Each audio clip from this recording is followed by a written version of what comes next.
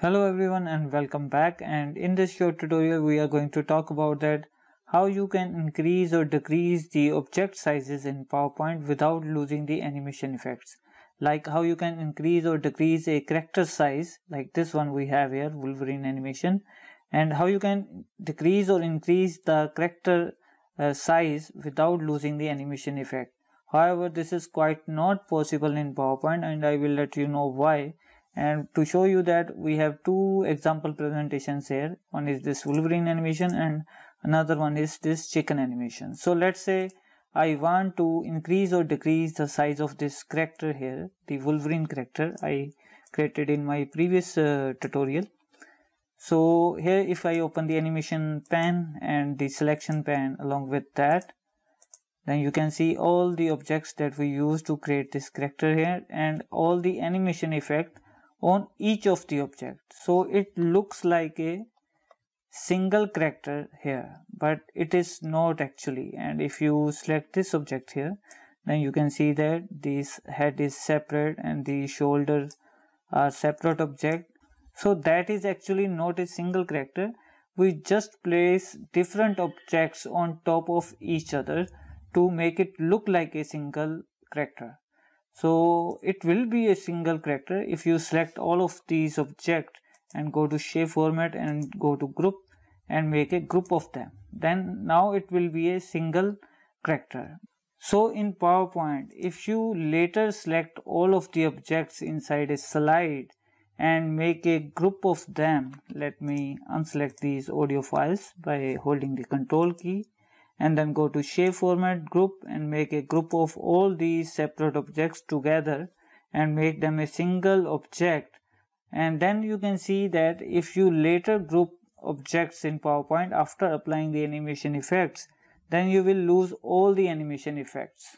So that is why I created I wanted to create this tutorial to let you know that how you can resize your character without losing the animation effect as I said before that it is quite not possible in PowerPoint because PowerPoint doesn't support different animation effects on a grouped object.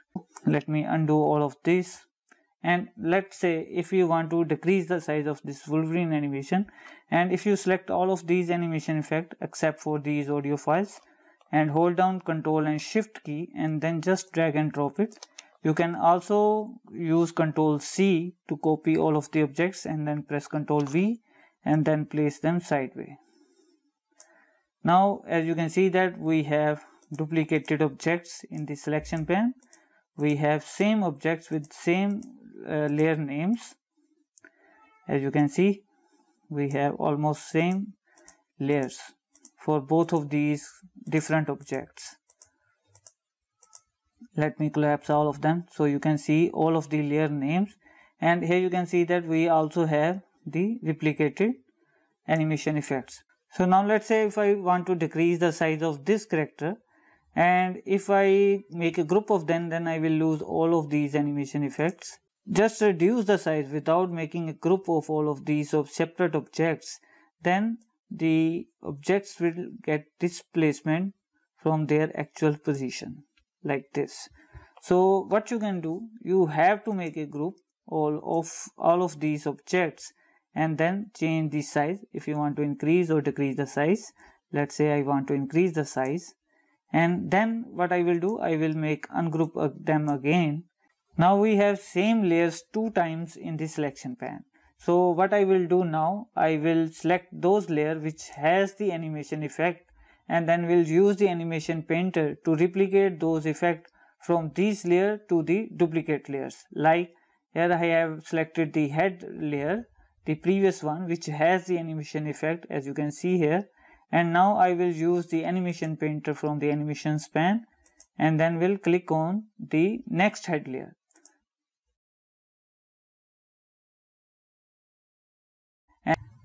So now what I will do, I will select each of the layer which has the animation effect and then we'll use the animation painter to replicate those animation effect to this character here. So now I will select the next layer neck and shield and will click on the animation painter and now I will click on this neck and shield layer. As you can see it replicated the animation effect. And that way I will replicate all of the animation effects using the animation painter. So let me do this quickly here.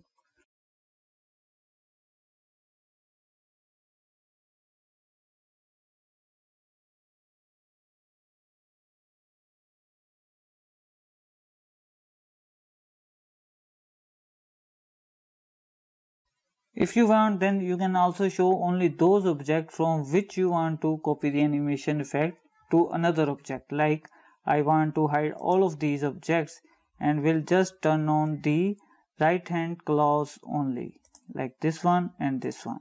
And now I want to replicate this animation effect to this layer so it will be easy for me as I am only seeing this particular layer which has all the animation effect that I want to replicate on this object. So now I will click on the animation painter and will click on this another layer to replicate all those animation effect.